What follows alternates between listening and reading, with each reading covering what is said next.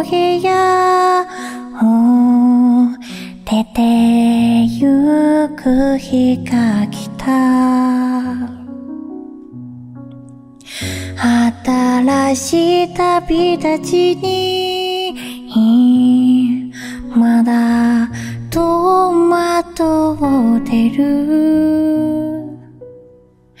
駅まで向かうバスの中友達にメールした。朝とホームで電話もしてみた。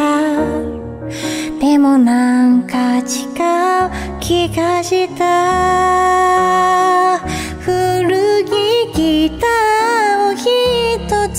持ってきた。写真は全部置いてきた。何かを手放してそして手に入れる。そんな繰り返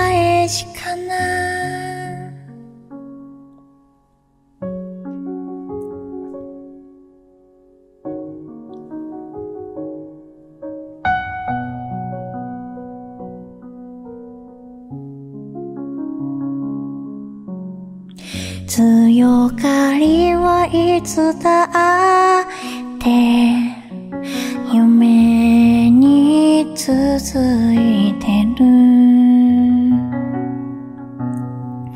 臆病になったら、そこで途切れるよ。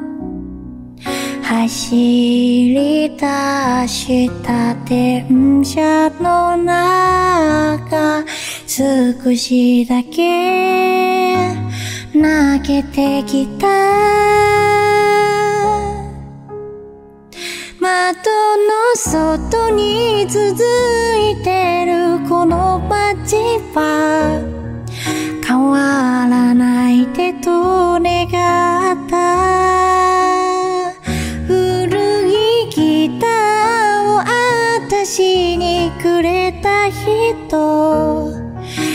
東京は怖いって言ってた。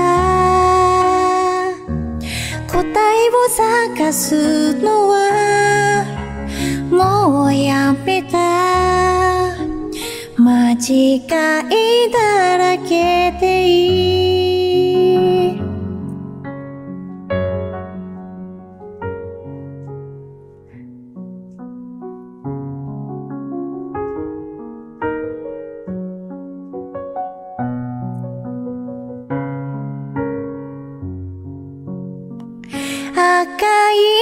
夕焼けがビルに途切れた。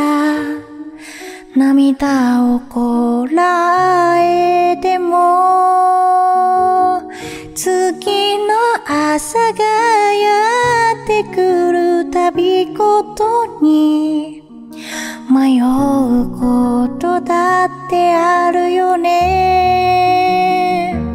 正しいことばかり。選べない。